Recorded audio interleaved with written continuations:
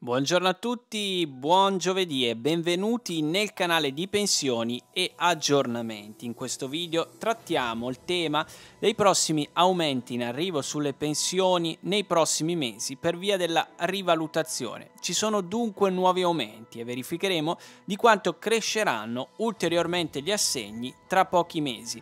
Prima di visionare il video, come sempre, vi invito ad iscrivervi al canale e a schiacciare sulla campanella per rimanere sempre aggiornati aggiornati ogni volta che sarà caricato un nuovo video sul canale. Vi invito inoltre a lasciare un mi piace nel video per continuare a supportarci. Nel recente DEF, ovvero il documento di economia e finanza approvato dal Consiglio dei Ministri, sono emersi alcuni indizi o stime sull'inflazione prevista per il 2024. Queste stime ci danno un'idea di quale potrebbe essere la percentuale di aumento delle pensioni attraverso il meccanismo di perequazione. Come avete probabilmente sentito recentemente, l'inflazione sembra aver trovato un momento di stabilizzazione, sebbene i prezzi siano rimasti elevati dopo i rincari degli ultimi anni.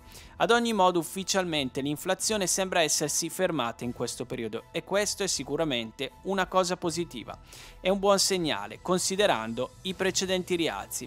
Secondo le prime stime attuali, l'inflazione prevista per il 2024 si attesta al di sotto del 2%, con una percentuale attuale intorno all'1,6%. Questo potrebbe essere interpretato come un segnale positivo poiché suggerisce un rallentamento dell'aumento dei prezzi rispetto agli scorsi anni. Questo ha portato a significativi incrementi negli ultimi due anni sulle pensioni come quelli del 5,4% di quest'anno e dell'8,1% nel 2023. Per quanto riguarda le prime stime sugli aumenti che potremmo aspettarci il prossimo anno, se ad esempio consideriamo un'ipotetica pensione lorda di 1000 euro mensili con un aumento dell'1,6% per via della rivalutazione, si tradurrebbe in un incremento di 16 euro al mese. Per una pensione di 500 euro l'incremento, sempre applicando l'1,6%, sarebbe di 8 euro al mese, mentre per una pensione da 2000 euro al mese l'incremento sarebbe 32 euro al mese e così via.